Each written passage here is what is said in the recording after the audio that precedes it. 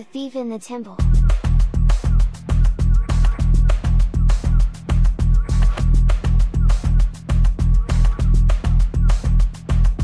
Escapism in the pre-apocalyptic era.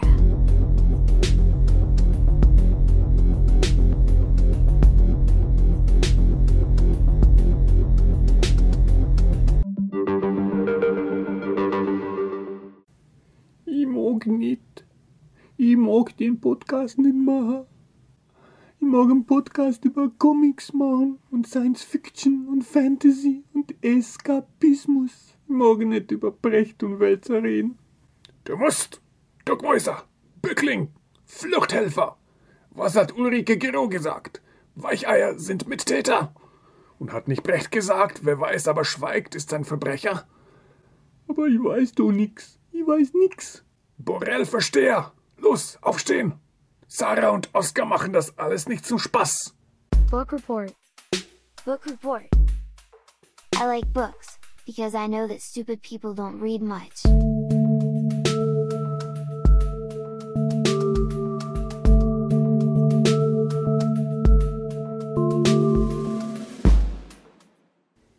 Im Augenblick lese ich das äußerst umstrittene Buch Die vierte Gewalt von Brecht und Wälzer. Und weil dieses Buch ein derartiger Sack voller Flöhe ist, dachte ich daran, den gesamten Podcast heute nur diesem Buch und den Reaktionen darauf zu widmen. Heute also mal etwas weniger eskapistisch und mehr dem Zeitgeist geschuldet, aber es trägt vielleicht auch zu der Erklärung bei, weshalb Eskapismus zunehmend wichtig wird, zumindest bis die Endzeit einschlägt. Bis dahin ist es nicht mehr lange. Nun muss man dabei auch festhalten, dass das Buch in der breiten Bevölkerung kaum als umstritten rezipiert wird. Wenn überhaupt ist dieses Buch äußerst milde und behutsam geschrieben, angesichts dessen, wie massiv die Verfehlungen der in diesem Buch angegriffenen Gesellschaftsschicht ist, namentlich die Medienlandschaft und ihre Herausgeber, Redakteure und Journalisten aber auch Politiker, die allzu gerne einen Schmusekurs mit der Presse fahren. Und sie haben alle Schaum vor dem Mund und regen sich auf, weil es jemand gewagt hat, sie zu kritisieren. Weil diese Leute sich bereits seit einigen Jahren für unkritisierbar halten. Die haben eine Menge von ihrem eigenen Nervengift inhaliert und leben seitdem in dieser bizarren Halluzination, sie wären unantastbar. Und vielleicht sind sie auch unantastbar, denn die Menschen, aka LeserInnen, ziehen sie nie zur Rechenschaft für das, was sie da unentwegt in ihre Laptops tippen. Doch ich vermute, das geschieht weniger deshalb, weil die Medien eine breite Zustimmung in der Bevölkerung erfahren und mehr deshalb, weil die meisten Menschen größere Probleme haben, als sich mit dem Geschwafel eines bellizistischen Sofakriegers zu beschäftigen.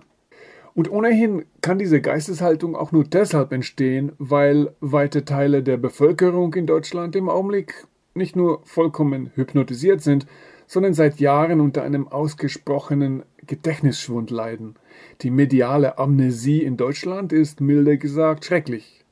Nun, die besagte Massenhypnose, die erlahmt zunehmend, wie alle Hypnosen früher oder später erlahmen. Sie ist längst nicht mehr so intensiv wie vor vier Monaten. Doch die deutsche Amnesie, die ist systemisch. Das Ganze ist keine Quantenphysik. Für Jahrzehnte, seit den Tagen von Egon Erwin Kisch, galten die Journalisten als jene, deren profundeste Aufgabe darin bestand, die politische Klasse und die industrielle Obrigkeit ständig und immer herauszufordern und zu hinterfragen. Und der Grund, weshalb die dünnhäutige Obrigkeit sich dieser Schmutzfinke nicht einfach entledigte und sie bei Nacht und Nebel irgendwo verschwinden ließ, hatte zumeist damit zu tun, dass hinter dem Journalisten die Zeitung stand und mit ihr die öffentliche Meinung. Und so bestand die heiligste Mission der Presse darin, die Politiker und die Industrie auf den Zehenspitzen zu halten. Das war die Welt vor 150 Jahren. Oder, um es mal mit den Worten von Hugh Carlton Green auf den Punkt zu bringen, Nennen Sie mir ein Land, in dem Journalisten und Politiker sich vertragen, und ich sage Ihnen, da ist keine Demokratie. Deutschland ist gegenwärtig keine Demokratie. Es ist natürlich auch keine Diktatur.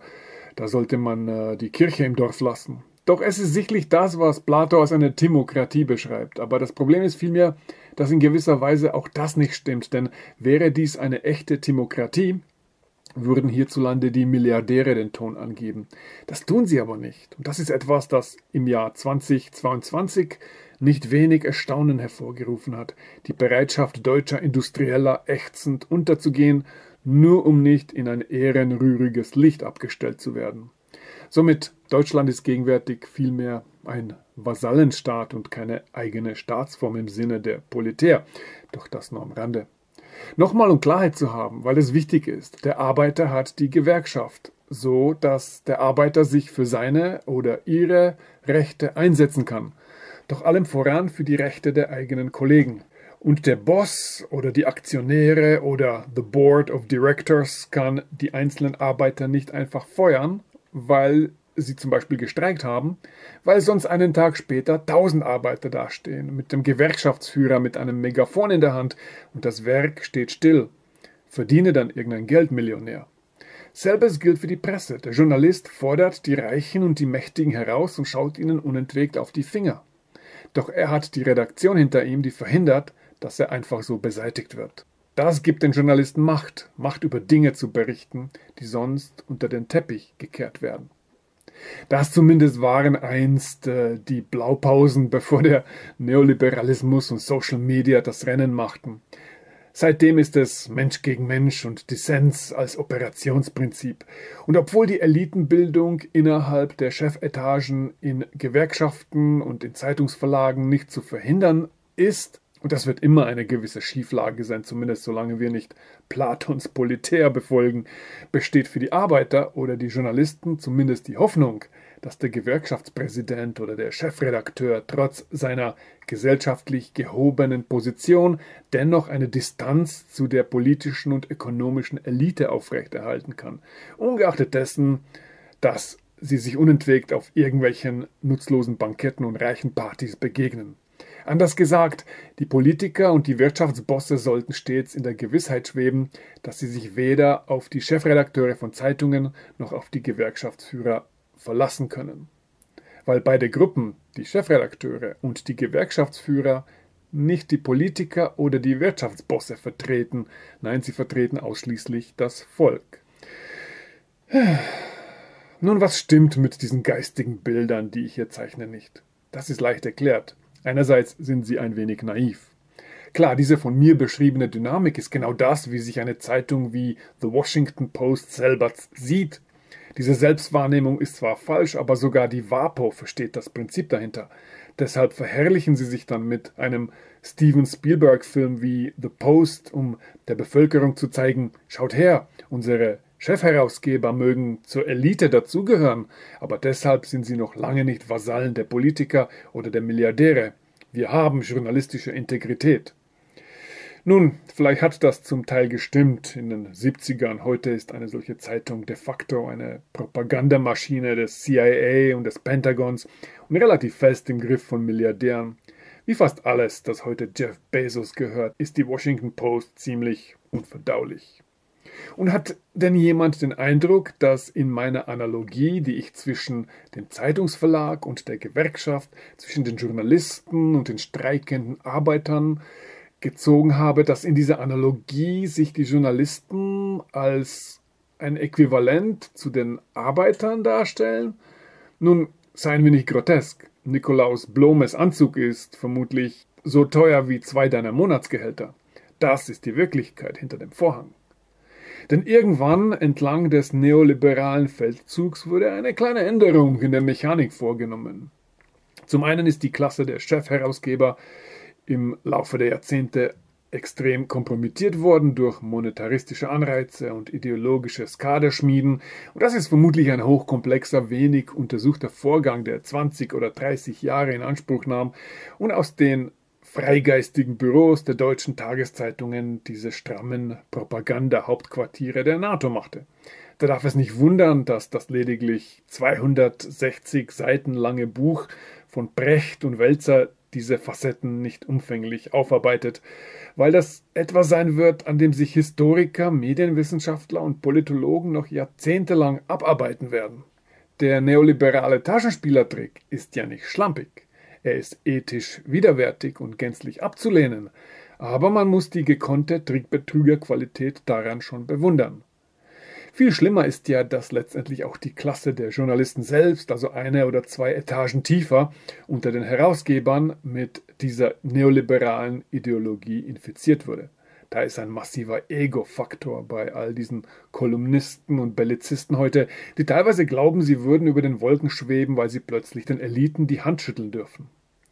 Es spielt keine Rolle, ob die Journalisten einer Mainstream-Tageszeitung noch immer das Märchen in ihrem Bauch aufrechterhalten, deren Zielgruppe wäre das Volk. Es erscheint unübersehbar, dass in einem Venn-Diagramm die Interessen des Volkes und die Interessen dieser Journalisten kaum eine Überlappung erfahren. Und deshalb lese ich diesen ganzen Trash nicht. Ich würde die Welt, den Spiegel und die FAZ nicht mit den Fingerspitzen anfassen, von Stern und Fokus gar nicht zu sprechen. Und wenn du heute bereit bist, jegliche Integrität als Journalist oder Journalistin einzubüßen, nur damit du dir die überteuerte Wohnung in Berlin leisten kannst, bist du niemand, dessen Artikel ich lesen möchte. Ich verstehe deine materiellen Sehnsüchte und deine existenziellen Ängste, aber hier geht es leider um mehr als nur das. Anders gesagt, ich muss nicht die Produkte dieser Sehnsüchte und Ängste konsumieren, so wie es mich nicht interessiert, was ein PR-Texter für die Bezahlseite einer Zeitung verfasst. Interessiert mich nicht, was ein Journalist schreibt, der de facto für die Oligarchie und für die Waffenlobby schreibt. Im Grunde ist so jemand ja nur ein Schriftführer der Eliten oder eine Stenotypistin der Reichen und der Mächtigen. Stichwort Amnesie.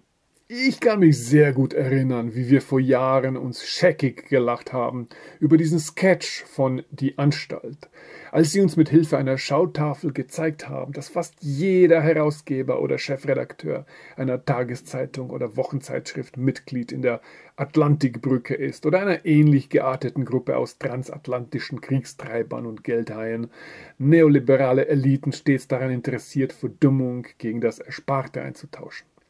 Behaltet dieses Operationsprinzip bitte im Hinterkopf. Es ist essentiell, Verdummung gegen das Ersparte einzutauschen. The name of the game. Und das sind jetzt die neuen Sinnstifter der deutschen Presselandschaft, die Herolde der Zeitenwende.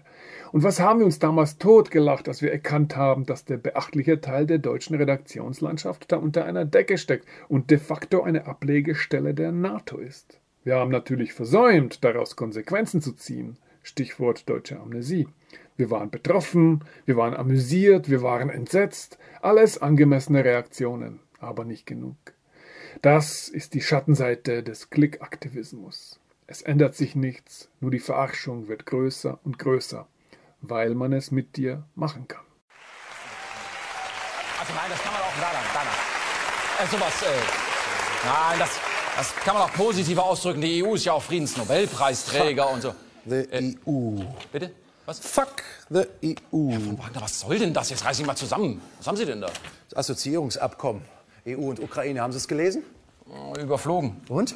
Naja, war schwer zu lesen. Aus 10.000 Meter Höhe. Sie sind wie unsere Journalisten, das Ja, glauben Sie, was wird da schon drinstehen? Mehr Handel, mehr Demokratie und so. Ja, darüber haben die Medien ja auch berichtet, aber nicht über den militärischen Teil dieses Abkommens. Gucken Sie mal hier. Paragraph 3, mehr Zusammenarbeit bei Kriegseinsätzen, gemeinsame Rüstungsprojekte und, und, und. Aber das hätte ja auch vielleicht erklären können, warum Russland so aggressiv reagiert, ne? Kleine Bilderklärung. Ein roter Leuchtalarm erscheint mit der Aufschrift Putin-Versteher. Jetzt hören Sie doch mal auf, jetzt. Ist doch lang. Wenn Sie es noch von mir nicht glauben wollen, dann nehmen Sie eben die ehemalige Moskau-Korrespondentin der ARD, Gabriele Krone-Schmalz. Also wir, die Medien, hätten zu einem frühen Zeitpunkt wissen müssen und es auch verkünden müssen, dass dieses Assoziierungsabkommen die Ukraine zerreißt. Verkünden müssen. Verstehen Sie? Verkünden müssen.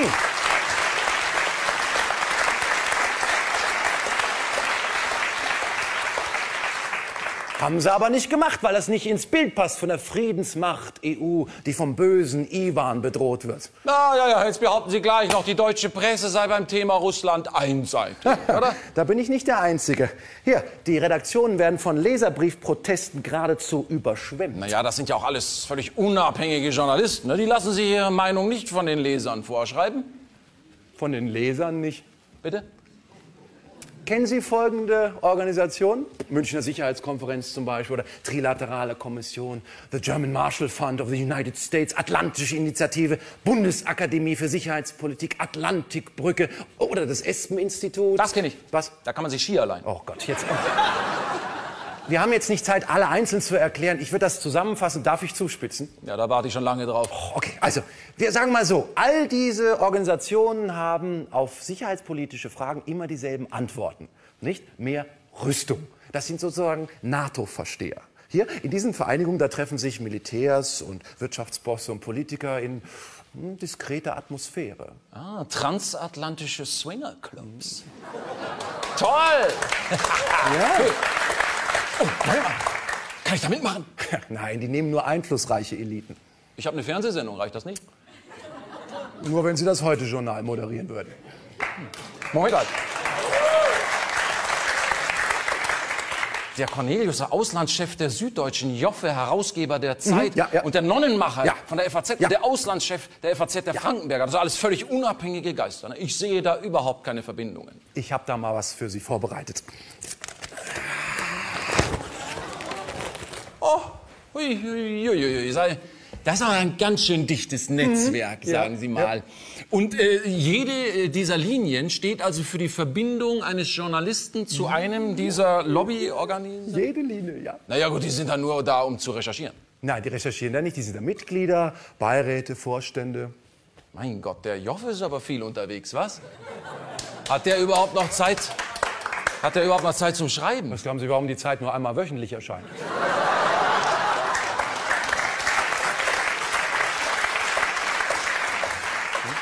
Der Herausgeber der Zeit ist also bei mehreren Lys- Lobbyorganisationen. Ja. Ja. aber das ist ein unabhängiger Journalist. Dann Ja. führt das nicht zu Interessenkonflikten. Nein, Interessenskonflikte gibt es nur da, wo es verschiedene Interessen gibt. Ah, was ist das da eigentlich? Bundesakademie für Sicherheitspolitik klingt ein bisschen wie ein literarischer Salon mit Handfeuerwaffen. Ja, ungefähr. Die, also es gehört dem Bund ja, und soll ein umfassendes Verständnis schaffen für die sicherheitspolitischen Interessen der Bundesrepublik Deutschland. Ah, und äh, der Cornelius und äh, der Frankenberger, die sind voller Verständnis. Die sind voller Verständnis. Die sitzen ja auch im Beirat von der Bundesakademie und müssen laut Satzung dann auch die Bundesregierung beraten. Moment mal, äh, dieselbe Bundesregierung, die Sie als Journalisten kritisieren müssen? Ja, es gibt nur die eine. Gut, dass die Bild da nicht mitmacht, was? Ja. So, hier, Kai Dickmann von der Bildzeitung ist was? natürlich. Was ist das? Taliban oder, Ah, jetzt oder, viel, auf, das oder Vielmann? Nein, der, ist, der sitzt natürlich hier im Vorstand von der Atlantikbrücke, nicht? Und die Bildzeitung selber, das ist sehr interessant. In den Unternehmensgrundsätzen steht drin, dass Sie als Journalist das transatlantische Bündnis unterstützen müssen. Das transatlantische Bündnis, das Sie als Journalisten auch kritisieren sollen? Es gibt nur das eine. Mal, wer ist das denn Oh, da? oh, das ist schön. Das ist Jochen Bittner von der Zeit. Kenne ich nicht, mag ich nicht. Oh, komm, jetzt. Hier. Sie wissen noch die Rede vom Gauck bei der Münchner Sicherheitskonferenz? Oh, ja, ja, oh Gott, mehr Bundeswehreinsätze im Ausland. Ja, die ist vorbereitet worden von einem transatlantischen Think Tank, German Marshall Fund of the United States. Und da war zufällig jemand dabei, Jochen Bittner von der Zeit. Ja, Moment, aber er wird doch genügend Anstand besessen haben, sein Schreiben für Gauck zu trennen von seinem Schreiben für die Zeit. Äh, das wäre schön. Nee, er hat, nachdem Gauck seine Rede gehalten hat, äh, naja, positiv über Gaucks Rede berichtet in der Zeit. Moment mal, ein Journalist der Zeit arbeitet an einem Strategiepapier mit, das die Außenpolitik Deutschlands neu ausrichtet und schreibt dann hinterher wohlwollend über diese Strategie. Ja, vergisst dabei leider nur zu erwähnen, dass er an der Strategie selber mitgebastelt hat. Sagen Sie mal, ist das denn nicht verboten? Ja, Ach, sehr schön. aber nicht bei uns. In der New York Times zum Beispiel, da dürften Sie als Journalist sowas gar nicht. Ja, und äh, bei uns? Da heißt das Qualitätsjournalismus. Aber dann sind ja alle diese Zeitungen nur sowas wie die Lokalausgaben der NATO-Pressestelle. Das haben jetzt Sie gesagt. Aber Sie haben es schön gesagt. Ja, Und das ist das wirklich Bizarre daran. 60 Jahre sind Menschen hart auf die Barrikaden gegangen, haben demonstriert und mit all ihrem Eifer die Erkenntnis in der Mitte der Bevölkerung am Leben erhalten, dass die Springerpresse eine teuflische Einrichtung ist, de facto eine kriminelle Organisation mit einer Firmenphilosophie, die sogar die Mafia harmlos erscheinen lässt. Das ist nicht auf meinem Mist gewachsen. Dafür sind 50 Jahre führende deutsche Denker und Wortführer auf die Barrikaden gegangen. Und ja, ich verstehe, die Springerpresse ist nicht kriminell kriminell im Sinne einer realen Rechtsprechung, sie sind kriminell im Sinne des Seneca-Zitats Quod non vetat lex, hoc vetat fieri pudor. Was das Gesetz nicht verbietet, verbietet der Anstand. Der Schriftsteller Max Gold bezeichnete in 2001 die Bild-Zeitung als Organ der Niedertracht und meinte, es sei ein klares Fehlverhalten, sie zu lesen. Im selben Atemzug bezeichnete er alle Bildmitarbeiter als gesellschaftlich absolut inakzeptabel. Er meinte wörtlich, es wäre verfehlt, zu einem ihrer Redakteure freundlich oder auch nur höflich zu sein. Wahre Worte. Das Problem ist nur, dass die Deutschen dazu neigen, sich die Sache dann schön zu reden, nach dem Motto, na gut, aber das ist die Bild, ja, aber die Welt ist eine ernste Zeitung. Es ist derselbe Verlag. Da ist eine Drehtürdynamik im Spiel und die geistigen Strukturen werden erfolgreich in andere Verlage exportiert. Denn das lohnt sich, sonst würden diese Verlage in einen finanziellen Abgrund stürzen. Ihr seht morgens in der U-Bahn hunderte Zeitungsleser? Ich nicht. Ich sehe eine Menge Leute in Handys starren und ich bin sicher, keiner von ihnen bezahlt irgendwas. Und es ist kein Zufall, dass eine verbale Pestbeule wie Nikolaus Blome mühelos von der Bildzeitung zum Spiegel transferiert. Solange wir in einer Welt leben, in der Politikerinnen und Journalistinnen halbe Orgasmen bei der Vorstellung bekommen, nach Davos eingeladen zu werden, um dort wirrem Geschwafel einiger Milliardäre zuzuhören, darüber, wie denn die Armut gelöst werden soll. Solange sind wir alle in Gefahr. Und solange Herausgeber von deutschen Zeitungen kalten Schweiß auf der Stirn bekommen bei der Vorstellung, dass Victoria Newland sie bei ihren Auftraggebern als politisch unzuverlässig anschwärzt, sind wir alle in Gefahr. Wie lösen wir nur die Armut, die wir ständig selbst verursachen? Wie beenden wir nur Kriege, die wir ständig selbst initiieren? Wie können wir mit dem Kapitalismus Probleme lösen, die vom Kapitalismus verursacht wurden? Hm, hm, hm. Es ist wirklich ein Rätsel. Lass uns alle in Davos treffen und dann reden wir mal darüber. Laden wir mal einen Rocksänger ein. Oder einen Schauspieler aus Hollywood. Mal sehen, was er dazu zu sagen hat. Gar nicht dazu zu sprechen, dass gegenwärtig ein Mann in Washington, der offensichtlich dement ist und Pflegegrad 3 hat, gleichzeitig den nuklearen Fußball besitzt. Und gemessen daran, was für eine geradezu sakrale Pflicht Journalisten gegenüber der Bevölkerung einnehmen, sind die Mitarbeiter der Springerpresse in der Tat als extrem kriminell und teuflisch einzustufen. Man muss sich nur die arrogante mediale Obsession ansehen, Ostdeutschland ständig als einen dümmlichen Hort voller Nazis darzustellen, und zwar 30 Jahre lang am Stück, ohne auch nur einen Hauch von Kontextualisierung. Eine typische Springer-Marotte, die inzwischen auch beim Spiegel sehr salonfähig geworden ist.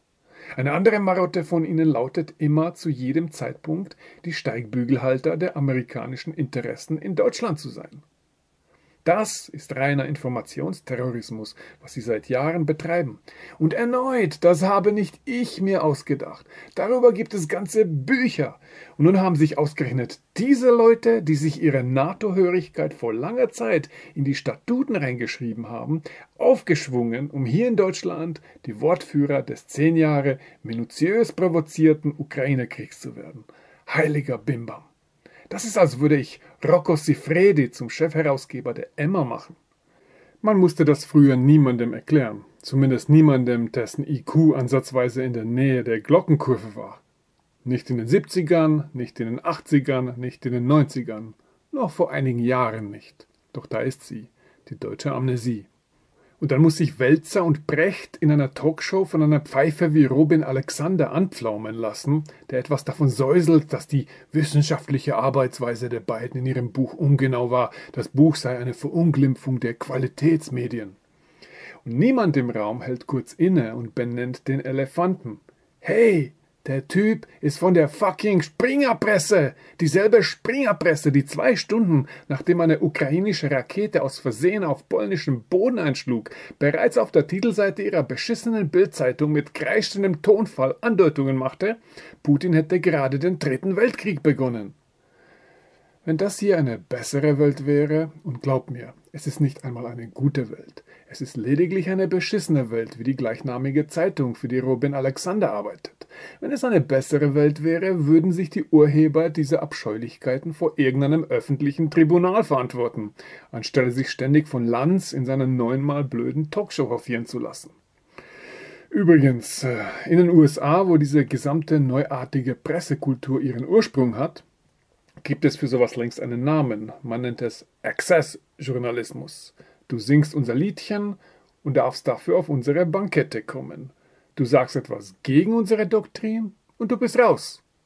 Brecht und Welzer nennen es in ihrem Buch den Gala-Publizismus, was nicht ganz dasselbe bedeutet, aber in, die ähnliche, in eine ähnliche Richtung geht. Die Eliten unter sich, die Journalisten als Akteure und die Belohnung des Schulterschlusses. Da kommt dieses sichtlich harmlose Buch heraus, das noch nicht einmal sehr präzise darin ist, die Ursachen zu benennen und die betroffenen Vertreter der sogenannten Qualitätsmedien, ein Name, den sich die Qualitätsmedien übrigens selbst gegeben haben, winden sich alle wie Schlangen, die jemand mit einer Gabel gegen eine Holzwand festgenagelt hat. Und ja, ich bin mir sehr darüber im Klaren, dass ich mich in der Vergangenheit sehr oft gegen Gesamtverhaftungen ausgesprochen habe. Kampfbegriffe wie Lügenpresse. Und meine Kritik hier an dieser Stelle kann allzu leicht als eine Gesamtverhaftung der deutschen Presse gedeutet werden. Wenn ich aber deutsche Journalisten als Steigbügelhalter bezeichne, meine ich natürlich nur Leute, die für die Kriegspresse schreiben. Also Leute wie Sascha Lobo, Kriegstreiber und Atomwaffenenthusiasten wie Nikolaus Blome und Ralf Füchs. Oder andere NATO-Trommler, die für die FAZ schreiben, die Zeit, den Stern, die gänzlich gruselige Fokus und allem voran die abscheuliche Welt mit ihrer teuflischen Springerpresse. Gar nicht zu sprechen von der Tagesschau, dem Deutschlandfunk, der Deutschen Welle und was auch immer die zurzeit beim ZDF für Nachrichten ausgeben. Aber ich meide die Qualitätsmedien ohnehin seit Jahren.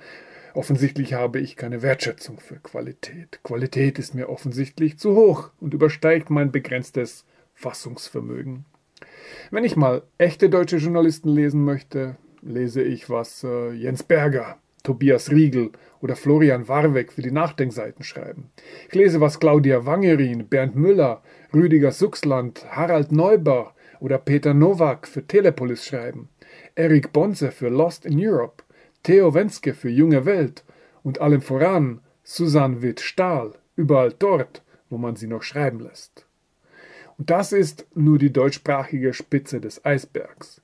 Jeder kann mir gerne eine E-Mail schicken und ich sende dir eine Liste mit 50 Journalistinnen und Journalisten, die alle top-notch sind.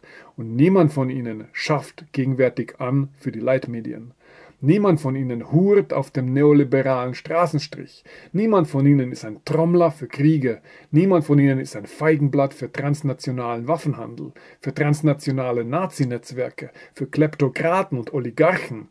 Denn das ist, was du bist, wenn du für die Springerpresse arbeitest, wenn du für einen Boss arbeitest, der einen festen Sitzplatz in Davos hat, während du gleichzeitig eifrig auf die NATO-Trommel schlägst. Bevor ich mich aber zu sehr echauffiere, lese ich doch lieber etwas von Precht und Wälzer, deren Tonfall eindeutig zehnmal besonnener ist als der meinige. Und das ist eigentlich der Punkt hier. Wenn wir uns die unverhältnismäßige, beleidigte Reaktion der Mainstream-Medien dazu anschauen, das ist die eigentliche Übung hier, okay? Ihr könnt gerne mich anschreien, weil ich ein radikaler, derangierter, extremistischer Wirrkopf bin. Absolut korrekt. Ein alter weißer Mann, der vermutlich langsam in Demenz abdriftet und deshalb nur Scheiße labert. Das ist absolut unbenommen. Unbenommen. Warum nicht? Ich meine, ich werde immer für euer Recht kämpfen, mir diese Kritik an den Kopf zu werfen. Das ist eure Meinungsfreiheit und die ist mir heilig. Aber die sanftmütige Medienmeditation von Brecht und Wälzer bringt euch auf die Palme? Wirklich? Das ist der Medienlandschaft aufgestoßen? Heiderwitzka, wie dünnhäutig. Aber Hauptsache dann knallhart auf Twitter reaktionäre Stellungnahmen austeilen und jeden ad hominem angreifen, der einem gerade nicht gefällt. Es hat die Handschrift von Heuchelei. Doch, genug von mir, lassen wir mal Precht und Wälzer zu Wort. Und jene von euch, die das Buch nicht kennen, können sich selbst ein Bild davon machen, wie entsetzlich dieses Schriftstück ist, gemessen daran, wie laut das Gekreische war. Die Menschen in der Bundesrepublik entwickelten eine mitfühlende Anteilnahme am Geschehen in der Ukraine und ihre Hilfsbereitschaft gegenüber den geflüchteten Menschen übertraf jene gegenüber den Opfern des Syrienkrieges sieben Jahre zuvor noch beim Weiten. Zugleich trat ein verblüffender Schuldstolz der politischen Klasse zutage, der in der Geschichte der Bundesrepublik seinesgleichen sucht. Das jahrzehntelang gepflegte und lange erfolgreiche Konzept des Wandels durch Annäherung und Handel galt plötzlich als der Irrtum unserer Zeit. Mitbeerdigt wurde zugleich die Kultur der Verhandlungen und der Diplomatie sowie die dauerhafte Perspektive einer Friedensordnung unter Einschluss Russlands. All dies stand blitzartig und über Nacht als fürchterlicher Irrtum im Raum. Souffliert wurde das Schuldstolz-Thema von politischen Journalisten wie dem stellvertretenden Weltchefredakteur Robin Alexander, der als Talkshow-Gast fortan jeden Sozialdemokraten mit scharfen Fragen zur blauäugigen ostpolitischen Vergangenheit konfrontierte und von inquisitorisch fragenden Talkmastern immer auf der dringenden Suche nach der scheinbar geheimen Antwort auf die Frage, wie man sich in Putin nur so hätte täuschen können. Die Leitmedien zogen aus, suchten und erkannten überall Schuldige und entlarvten dabei vorwiegend Sozialdemokraten als lebensgefährliche Illusionisten. Sogar der Bundespräsident, der formal höchste Amtsträger im Staat, wurde zum Schuldeingeständnis genötigt. Die ehemaligen BundeskanzlerInnen Gerhard Schröder und Angela Merkel sollten ebenfalls bekennen, verweigerten das aber. Dies alles vor dem Hintergrund, dass im Detail nicht immer wirklich klar war, welche ganz konkreten Handlungen der Vorgängerregierungen nun diese Exkommunikation verdienten und ein öffentliches Schuldgelöbnis erforderten. Bestürzend aber auch, dass die Mehrheit der politischen Journalistinnen und Journalisten nicht mit sich selbst ins Gericht ging. Hatten sie nicht selbst jahrzehntelang die gleichen Lieder gesungen, die sie jetzt als Teufelslitanei verdammten? Waren sie nicht genauso dabei gewesen und hätten den Hahn dreimal krähen hören müssen? Und waren die mutmaßlichen Illusionen der verurteilten Politiker nicht auch ihre eigenen gewesen? Wieder einmal erwies sich das klassische Diktum der neuen Frankfurter Schule als zutreffend. Die schärfsten Kritiker der Elche waren früher selber welche. Tatsächlich wurde der Begriff der Scham schnell zu einem journalistischen Thema. Verleger wie Matthias Döpfner, Chefredakteure und politische Kommentatoren schämten sich öffentlich zuhauf und machten somit das Privateste ihrer Gefühle öffentlich. Aber sie schämten sich nicht für sich selbst und ihre früheren wirtschaftspolitischen Überzeugungen, sondern inszenierten die Kunst des öffentlichen Fremdschämens hinsichtlich des Bundeskanzlers, der Schreiber des offenen Briefes oder gar für das ganze Land intimes Schämen für andere als öffentliches Gelöbnis. Schöner ließ sich der Bekenntnisdrang zum Guten nicht äußern und die eigene Mittäterschaft kaschieren. Das Massenfremdschämen der Besserwisser im Nachhinein würde so zum Teil einer hegemonialen Erzählung. Die komplexe geopolitische Lage wird darin auf ein vergleichsweise niedrig komplexes Niveau tiefer gelegt und in eine Geschichte gegossen, die durch folgende Eckpunkte festgelegt ist. Demokratie steht gegen Diktatur, der Diktator ist zu allem fähig, sein Expansionsdrang wird nach der Okkupation der Ukraine ungebremst weitergehen, eine militärische Aggression kann nur mit Stärke bekämpft werden, Verhandlungen haben zu nichts geführt und werden auch in Zukunft zu nichts führen, Kriegsverbrechen gehen ausschließlich auf die barbarische Natur des Aggressors zurück, nicht auch auf die Natur des Krieges. Angegriffene sind unabhängig von ihren Überzeugungen und Motiven Helden. Angreifer sind unabhängig von ihren Überzeugungen und Motiven Verbrecher, Mörder, Horden, Soldateska, Schergen, folgen ganz einfach dem Barbarismus der russischen Zerbombungsmoral. Ich überspringe einige Seiten hier und lese vielleicht hier noch ein bisschen weiter. Das leitmedial breit erzählte Narrativ hat mit solchen Fragen Probleme. Wann immer Kriege ausbrechen, erfolgt regelmäßig eine entsprechende Komplexitätsreduktion. Der früh verstorbene amerikanische Pragmatist Randolph Bourne analysierte dies bereits 1914 angesichts des Ersten Weltkriegs in einem Essay mit dem Titel The Disillusionment. Bourne beobachtete, schreibt der Romanist und Kulturtheoretiker Jan Söffner, wie nationalistische Ideologie und hierarchische Loyalitätsansprüche den politischen und wirtschaftlichen Pluralismus ausschalteten, wie politische Meinungsäußerung zu Landesverrat wurde, wie Wohlstand und Freiheit zugunsten militärischer Zwecke untergraben wurden, wie Befehlsketten die komplexe Architektur der Verwaltung ablösten, die Bürokratie erstarkte und sich in eine effiziente hierarchische Ordnung verwandelte, wie staatliche Symbole mit der Aura des Heiligen belegt wurden und das gesellschaftliche sowie private Leben der Funktionalität des Militärs untergeordnet wurde und so weiter und so fort. Er fasste diese Beobachtungen in einer Theorie zusammen, der zufolge auch in friedlichen staatlichen Zusammenhängen immer die Möglichkeit der Regression auf militärische Organisationsformen gegeben ist. Bourne schrieb vor mehr als 100 Jahren, aber dasselbe geschieht auch in der Gegenwart. Krieg ist nicht, wie im zu Tode zitierten Clausewitz-Diktum, die Fortsetzung der Politik mit anderen Mitteln, sondern etwas anderes als Politik. Er erzählt eine andere Geschichte.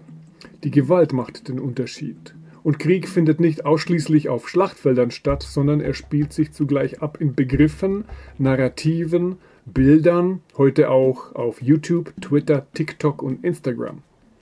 Jeder Krieg ist eine Geschichte und obwohl im Fall des Ukraine-Krieges die NATO-Staaten stets darauf bestanden, nicht Kriegspartei zu sein, würden sie es psychologisch doch schon in dem Moment, in dem sie ihre Geschichte manichäisch verengten und simplifizierten. Dass Leitmedien sich im Angesicht von Kriegen eng an die Regierungspolitik anschließen, ist auch in der Bundesrepublik kein Ausnahmefall, sondern die Regel. Inhaltsanalytische Studien aus den vergangenen Jahren sprechen hier eine deutliche Sprache. Eine Auswertung der Leitartikel in Welt, Frankfurter Allgemeine Zeitung, Süddeutsche Zeitung, Frankfurter Rundschau und Taz zwischen dem 25. März und dem 20. Juni 1999 dem Zeitraum zwischen dem Beginn und dem Ende der NATO-Bombardierungen im Kosovo-Krieg kam zu dem Schluss, dass der Mediendiskurs die politische Linie fast identisch reproduzierte und dies, obwohl die Entscheidung über den Kriegseintritt eine deutliche Zäsur in der deutschen Nachkriegsgeschichte darstellt. Eine Analyse der medialen Begleitung des Afghanistan-Krieges, der 519 Kommentare in Welt, FAZ, SZ, FR und Taz zugrunde lagen, fand zwei Drittel kriegsunterstützende Aussagen. Auch Medienauswertungen zum Irakkrieg deuten erhebliche Überschneidungen zwischen den medial präsentierten Auffassungen und denen der jeweiligen Regierungen an. Auf diese Weise asymmetrisch zur Meinung der deutschen Bevölkerung war auch das Mehrheitsurteil der Leitmedien in Bezug auf Auslandseinsätze der Bundeswehr, die insbesondere nach der russischen Krim-Annexion 2014 verstärkt gefordert wurden. Der Medienwissenschaftler Uwe Krüger schloss daraus, es existiert eine Kluft zwischen Elite und Bevölkerung in diesen Fragen, was Sicherheit eigentlich ist und wo und wie man sie verteidigen sollte. Die Bevölkerung ist zumindest gespalten oder sogar mehrheitlich gegen weltweite Bundeswehreinsätze.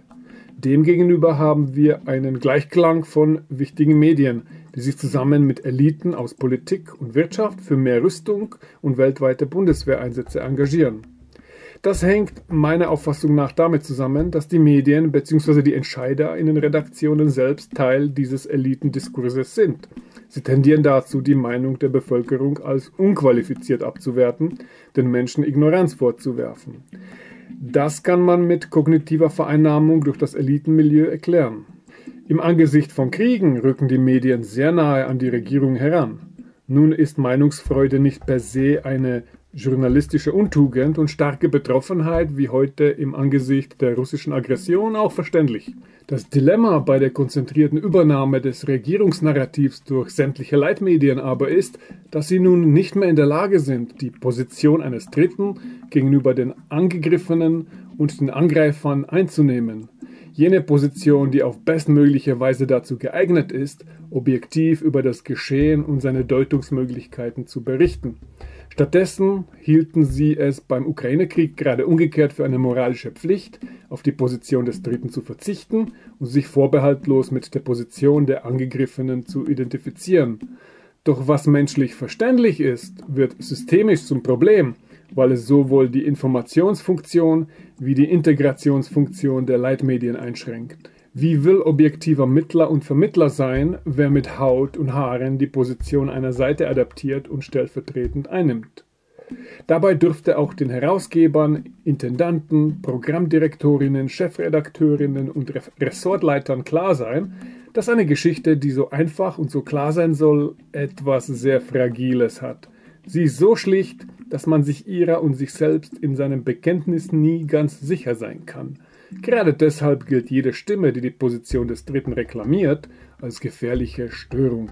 Die Position des Dritten zerstört die stimmige Geschichte und die bruchlose Identifikation mit ihr. Und sie löst eine kognitive Dissonanz aus, eine sehr unangenehme Empfindung, die immer dann aufkommt, wenn die Wirklichkeit sich anders darstellt als die Erwartungen, die man an diese Realität hat. Bezeichnenderweise lösen Menschen kognitive Dissonanzen nicht dahingehend auf, dass sie ihre ursprüngliche Position in Frage stellen. Stattdessen bewältigt man die Dissonanz dadurch, dass man seine Erwartung so nachjustiert, dass sie der Realität wieder zu entsprechen scheint. Wenn sich etwa, wie sich im weiteren Kriegsverlauf herausstellte, die ukrainische Armee doch nicht als so widerstandsfähig und kampfstark erwies, dass sie den russischen Vormarsch in der Ostukraine stoppen konnte, dann lag das nicht etwa an einer vorherigen Fehleinschätzung ihrer Möglichkeiten, es konnte nur daran liegen, dass man eben noch nicht genug Waffen geliefert hatte. Ich finde das Buch grundsätzlich gut. Ich finde es stellenweise zu mild. Wälzer und Brecht wollen nicht zu sehr anecken, also pflastern sie in ihren Text unentwegt diese Kaverts, so nach dem Motto, um Gottes Willen kommt nicht auf die Idee, wir würden Putin mögen. Putin böse, böse, Putin böse. Können wir jetzt aber ein paar Minuten über Meinungsfreiheit sprechen. Dieser Ton wird sich vermutlich in der Zukunft ändern, je mehr dieses Land von den USA in einen sozial-ökonomischen Abgrund gerissen wird. Das hat auch nichts damit zu tun, ob ich das so will oder nicht, weil noch nie jemanden interessierte, was ich will und ich das auch von niemandem erwarte. Das hat vielmehr mit dem Brechtschen Zitat aus der Drei-Groschen-Oper zu tun. Erst kommt das Fressen, dann kommt die Moral. Aber es hat auch viel mit einem anderen Brecht-Zitat zu tun, das da lautet: Wer die Wahrheit nicht weiß, der ist bloß ein Dummkopf. Aber wer sie weiß und sie eine Lüge nennt, der ist ein Verbrecher. Und das ist die Essenz der Situation, in der wir stecken. Und übrigens, um auch mal eine Selbstanzeige zu praktizieren. Wenn ich mich hier aufrege und echauffiere und eine Menge deutscher Publizisten und Journalisten als sogenannte Sofa-Bellizisten abstemple, ist es ein sehr leichtes, mir umgekehrt an den Kopf zu werfen, ich sei einer dieser Sofa-Pazifisten mit all den dazugehörigen philosophischen Problemen. Und damit hätte man recht. Meine Position ist nicht einwandfrei und sie ist ganz sicher nicht makellos. Bob Hope soll mal gesagt haben, die Armee ist jene Gruppe aus Leuten, deren Job darin besteht, die Pazifisten zu beschützen. Ich bin mir dieser Problematik bewusst und habe da sicherlich noch einige geistige Arbeit vor mir. Aber in einer Sache habe ich Gewissheit. Ich bin kein Waffenhändler. Und ich bin kein bellizistischer Streikbrecher. Und ich bin keine monetaristische Elitenhure, die sich bei den Mächtigen anbietet. Es gibt gegenwärtig zwei Arten von Leuten auf der Welt. Diejenigen, die wollen, dass es aufhört und diejenigen, die nicht wollen, dass es aufhört. Das ist die einzige Wirklichkeit hinter den dick aufgetragenen Erzählungen. Und wenn du Schaum vor den Mund kriegst, angesichts dessen, dass manche Leute sich für den Frieden einsetzen, dann ist, denke ich, recht klar, zu welcher der beiden Gruppierungen du gehörst. Aber du kannst nicht durch die Gegend laufen mit deinem Fähnchen neben dem Decknamen und öffentlich diese notorische Lüge verbreiten, dir legen die ukrainischen Menschen am Herzen. Weil das eine Lüge ist, nichts anderes, eine Lüge.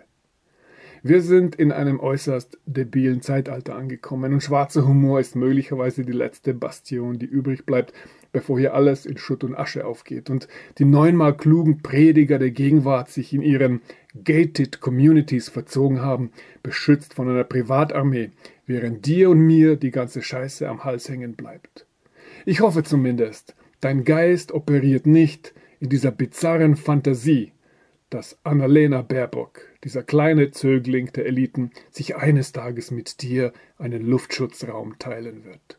Die Dummköpfe sind das gefährlichste auf diesem Planeten. Wer meinen letzten Podcast über Carlo Cipolla gehört hat, versteht das. Ich würde immer lieber mit Schurken und Gaunern verhandeln als mit Dummköpfen. Mit Schurken kann man wenigstens einen Deal abschließen, so dass der ganze Zirkus irgendwie weitergeht. Von Dummköpfen erfährt man nur Bezichtigungen, man sei ein Frauenhasser oder ein Nazi oder ein Querdenker oder ein Stalinist oder ein Kreml-Agent. Hauptsache schön gepaart mit Virtue Signaling. Daraufhin marschieren die Dummköpfe dann mit strammen Schritt in den Abgrund und sind auch noch stolz drauf. Ich glaube, mit dem Dummkopf der Gegenwart erleben wir jetzt auch eine neuartige Überwindung des berühmten Schopenhauer-Zitats. Schopenhauer hat ja mal geschrieben, Aber jeder erbärmliche Tropf, der nichts auf der Welt hat, darauf er stolz sein könnte, ergreift das letzte Mittel, auf die Nation, der er gerade angehört, stolz zu sein. Hieran erholt er sich und ist nun dankbarlich bereit, alle Fehler und Torheiten, die ihr eigen sind, mit Händen und Füßen zu verteidigen. Doch wir haben in unserer hypermodernen Dummheit sogar das transzendiert und sind darüber hinaus degeneriert. Wir verteidigen nun den Nationalstolz anderer Völker. Wir sind somit noch eine Spur dümmer als die Nazis. Versteht ihr jetzt, warum ich ein Misanthrop bin?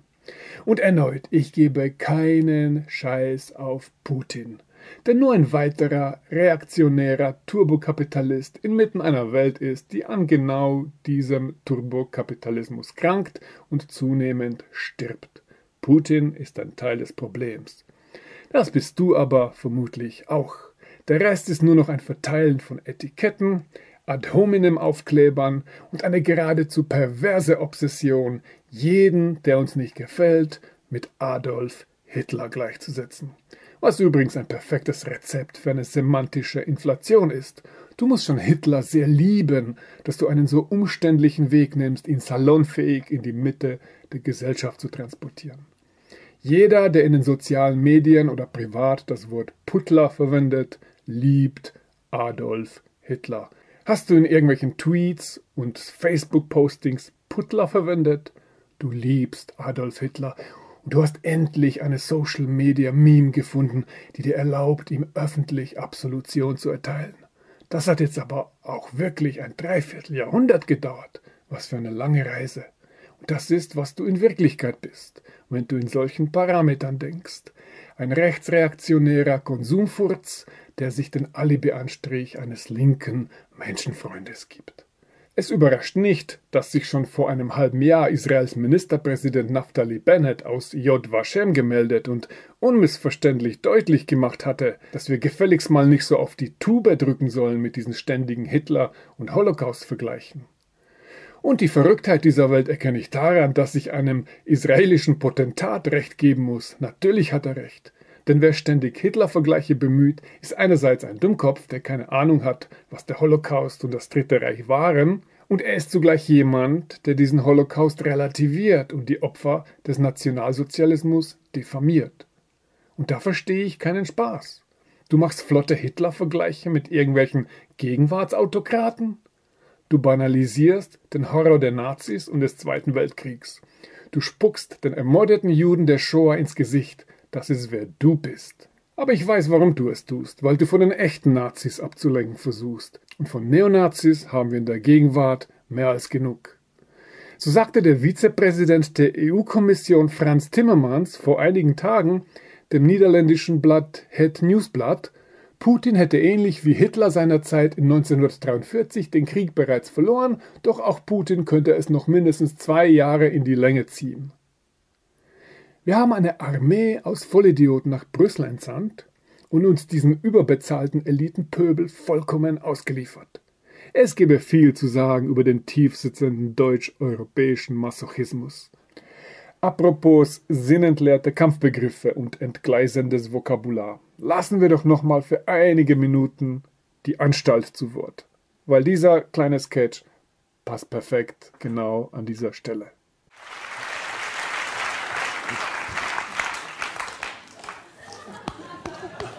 Was soll das denn? Sie sind Anti-Amerikaner. Äh, äh, das ist, doch, das ist doch Quatsch. Ich habe überhaupt nichts gegen Amerika. Ich liebe die Daily Show. Jon Stewart, ich meine, Wahnsinn. Ja, dann akzeptieren Sie gefälligst auch amerikanische Drohnenangriffe. Das ist doch Quatsch.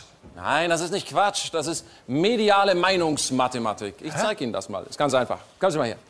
Schauen Sie, Ihre Kritik an den Drohnen, verstehen Sie? Ich behaupte das einfach mal. So, okay. Ne? Ja. Ihre, Anti, Ihre Drohnenkritik ja. ist nur Ausdruck oder besser Teilmenge eines großen Ressentiments gegen Amerika. Das macht Sie zum Anti-Amerikaner und schon muss ich mich mit Ihren Argumenten überhaupt nicht mehr beschäftigen.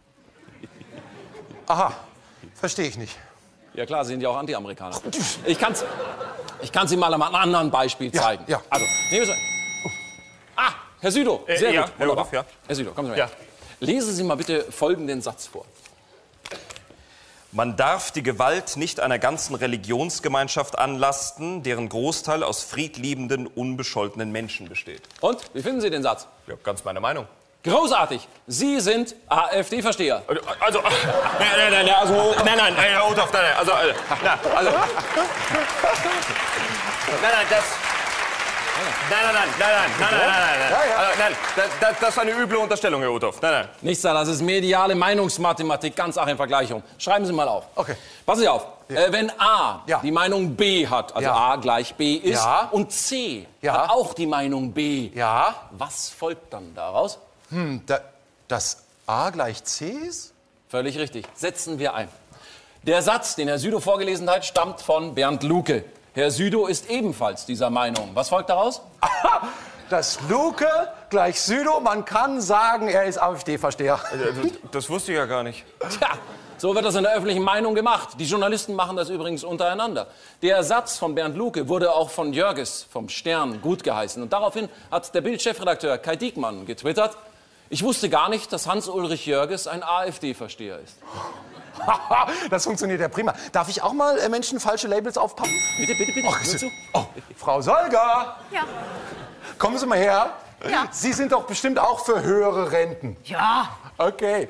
Und Sie sind bestimmt auch äh, gegen Waffenexporte. ja, natürlich. Super. Schauen Sie, dann sind Sie gefährlich nah an Pegida. Ja, Was, Sie spinnen ja wohl. Nein, nein, das ist äh, Meinungsmathematik. Ich kann Ihnen das ausrechnen. Schauen Sie, hier ist Pegida. Die sind natürlich auch für höhere Renten und gegen äh, Waffenexporte und fremdenfeindlich. So, jetzt kürzen wir die Renten.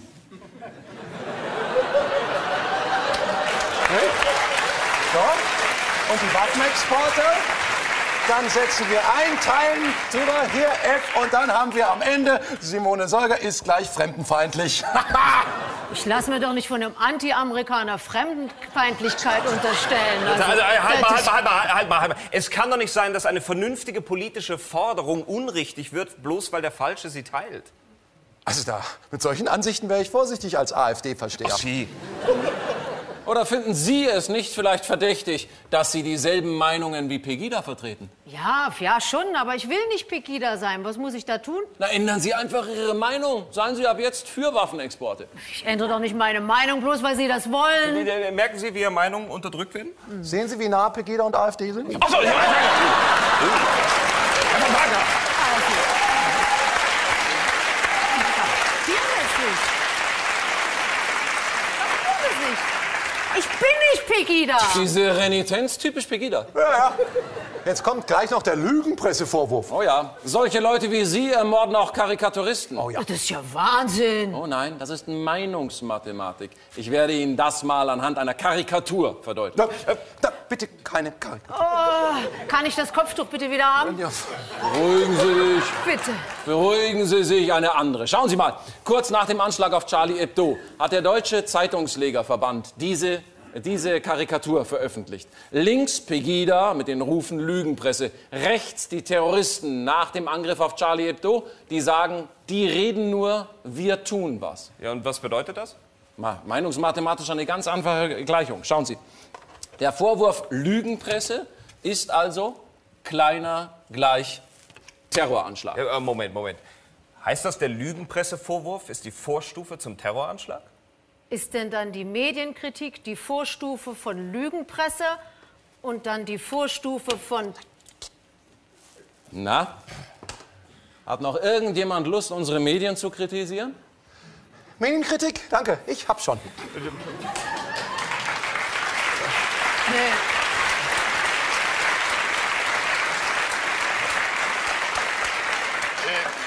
Ich bin ja schon gelabelt. Ich habe keine Lust auf so ein Spiel. Gehe ich lieber schweigend spazieren. Sie gehen als Sechsin. Sie gehen also als Sechsin schweigend spazieren, ja? Durch Sachsen. Was die Comedians hier beschreiben, ist die gegenwärtige Problemzone der deutschen Medienlandschaft. Und zwar eine Problemzone, die bereitwillig von USA und Großbritannien beerbt wurde. Man nennt es auch einen Non Sequitur.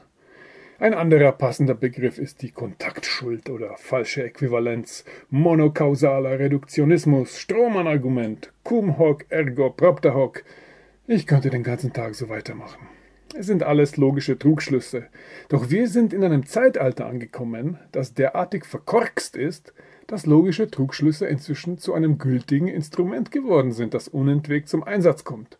Und das wird weitgehend akzeptiert, dass Unlogik zu einem alltäglichen Gegenstand der Argumentation geworden ist. Die vollständige Absage an die Wirklichkeit. Das ist, was gemeint ist, wenn von einem postfaktischen Zeitalter die Rede ist. Es spielt keine Rolle, ob deine Aussage die Wirklichkeit beschreibt. Es spielt nur eine Rolle, ob es dir gelingt, mit deinen Verunglimpfungen deinen Gegner in ein soziales Abseits abzudrängen. Also gilt es dabei, ein Vokabular zu benutzen, welches das Potenzial hat, bereits durch Verdachtsmomente jemanden schachmatt zu setzen. Denn diese Presse ist nicht mehr dafür da, um euch zu informieren. Ihre mechanistische Aufgabe besteht darin, jeden, der es wagen sollte, euch zu informieren, medial schachmatt zu setzen. Und dafür ist kein Hitler-Vergleich, Holocaust-Vergleich und kein Stalin-Vergleich zu schade. Alles ist plötzlich Genozid, alles ist plötzlich ethnische Säuberung, vorausgesetzt, die anderen tun es. Wenn wir es tun, ist es eine militärische Operation. Und das übrigens ist reinste Kreml-Propaganda. Das sind ja waschechte Putin-Talking Points. Und dieser Fehler im System ist den Schreihälsen bekannt und bewusst und deshalb wird immer hysterisch Whataboutismus geschrien, wenn jemand dieses Detail aufgreift. Doch die schäbige Wahrheit hinter all dem aufgedunsenen Getue lautet, die Massenmörder sind immer die anderen. Und nochmal, du bist davon überzeugt, dass Putin ein Faschist ist? Du hast meinen Segen. Es gibt tausend Argumente, die belegen, dass Putin ein Faschist ist. Doch sein Faschismus ist heute nichts Besonderes. Auf dem Spektrum all der hoffierten Autokraten dieser Welt ist der Mann laues Mittelmaß. Davon abgesehen, die gesamte chauvinistische, rechtsreaktionäre Ideologie Russlands ist komplett aus dem Regelbuch der USA abgeschrieben. Da kommt es her. Habt ihr die 90er vergessen? Muss ich schon wieder von der deutschen Amnesie sprechen? Die russische Geopolitik, die ewige chauvinistische russische Anspruchshaltung, die stetige Islamophobie, die Unterdrückung linker Parteien und linker Ideen, die Bekämpfung von Gewerkschaften, das Bekämpfen von Menschen an den südlichen Außengrenzen, das Hofieren von regierungstreuen Oligarchen und Spendern, all das ist komplett aus dem amerikanischen Handbuch entlehnt. Aber Putin unterdrückt Homosexuelle und Transgender-Leute. Ja, ja, das haben die Amerikaner noch vor 30 Jahren auch getan. Und die euphorische Akzeptanz der USA für LGBTQ ist zu weiten Teilen eine Hollywood-Vogue-Blase. Das Ganze ist ein viel zu junges Phänomen, um sich jetzt schon stolz auf die Schultern zu klopfen und den Kampf für beendet zu erklären. Das Pendel könnte nochmal zurückschwingen, so wie es schließlich bei den Fragen der Abtreibung auch zurückgeschwungen ist. Putin sperrt Journalisten ein, richtig, das tun wir übrigens auch. Und wie die Russen haben unsere Journalisten kein Problem damit, ihre Kollegen untergehen zu sehen. Schön den Kopf gesenkt zu halten, bloß nicht anecken. Sonst werde ich ins Büro des Chefredakteurs eingeladen, der vermutlich Mitglied der Mont Pelerin Society ist. Und werde ich mir dann noch den 12-Euro-Kaffee von Starbucks leisten können, während ich lässig mit Bluetooth im Ohr an meinem Laptop sitze? Der Zug ist fast abgefahren, Leute. Unser Gemeinwesen ist bereits in einer abschüssigen Schieflage. Jetzt gilt es langsam und relativ orientierungslos in den Abgrund abzurutschen. Und alles, was übrig bleibt, ist zu klagen und Beschuldigungen auszusprechen. Hauptsache, es gibt da jemanden, auf den wir kollektiv mit dem Finger zeigen können. Dann fühlt sich das Abrutschen in den Abgrund etwas weicher an. Zumindest bis der harte, steinige Boden kommt. Was dann ist, weiß niemand. Willkommen in der neuen europäischen Dystopie. Der blühende Garten, den der vollkommen derangierte Politspinner Josep Borrell vor wenigen Monaten heraufbeschworen hat, wird aus Beton bestehen und Geröll und Schutt und Müll und der enttäuschten Wut unzähliger Bürger, die zu spät erwachen werden und feststellen werden, dass sie den neuralgisch wichtigen Augenblick verpasst haben, die Faust zu erheben und zu sagen, no pasarán, pasaremos. Sie wollten blühende Gärten, doch sie setzten auf NATO, Neokons und Nazis und auf den Neoliberalismus. Krieg mal die Alliteration erstmal hin. Und sie dachten, die Geldelite würde schon dafür sorgen, dass das Richtige passiert. Elon Musk wird uns retten und der Multimillionär Joe Biden, während der andere Multimillionär Zelensky für unsere Freiheit kämpft, mit Champagnes Oscar in der Hand gegen den korrupten Multimillionär Putin. Ich glaube, ich sehe ein ziemliches Hütchenspiel und eine Menge Idioten, die immer noch nicht bereit sind, aufzustehen und den Spieltisch zu verlassen. Einfach das Casino verlassen. Drop out. Now. Es steht nirgendwo geschrieben, dass du den Mummenschanz der Oligarchen mitmachen musst. Aber wenn du sitzen bleibst und einfach nur das Geld vor die nächste Nussschale legst, die der Hütchenspieler vor dir hin und her verschoben hat, ist dir nicht zu helfen. Und deshalb verdienen wir möglicherweise unseren Niedergang. Und das Buch von Brecht und Welzer kratzt dann nicht mal am Lack dieser Problematik. Das ist eine gemütliche, höfliche Streitschrift, die man vor 30 Jahren kaum zur Kenntnis genommen hätte, weil der Inhalt des Buches so naheliegend, so verstanden, so unbestreitbar ist. Was sagt uns das dann über die Aufregungskultur der Gegenwart?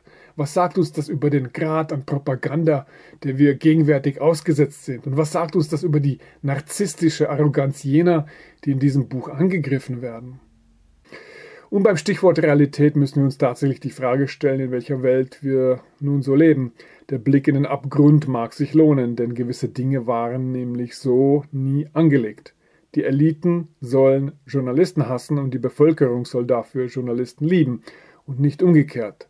Was würde Kurt Tucholsky wohl dazu sagen?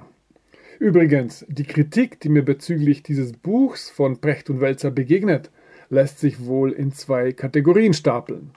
Da ist erstens die Ad hominem-Kritik, die ich vielerorts lesen konnte und die mehr aus dem NATO-hörigen Teil der deutschen Bevölkerung kommt. Und das ist keine kleine Gruppe, das muss klar sein. Und diese Kritik lautet, der Brecht ist nur ein narzisstischer Egomane und seine ewige Selbstdarstellung habe ich einfach satt. Oder an die Adresse von Welzer, ich lasse mir doch von einem Soziologen wie Welzer nicht die Welt erklären. Oder auch äh, inhaltslose Bezichtigungen wie Brecht ist nur ein Volksphilosoph. Im Gegensatz zu was? Zu einem Elitenphilosophen? Könnte es sein, dass Sokrates dich übers Knie legen würde? Das ist dann halt Twitter-Niveau. Und denk daran, wer freiwillig auf Twitter ist, hat möglicherweise einen Gehirntumor, von dem er noch nichts weiß. Die zweite Kritikgruppe sind dann eben die Medienschaffenden und Medienwissenschaftler, die meinen, dass Brecht und Wälzer wissenschaftlich ungenau gearbeitet haben.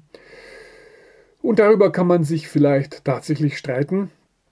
Ähm, manchmal scheint der Text ja ein wenig äh, zwischen zwei Extrempunkten zu oszillieren und ich glaube, man kann stellenweise erkennen, wann eben Brecht schreibt und wann Welzer schreibt.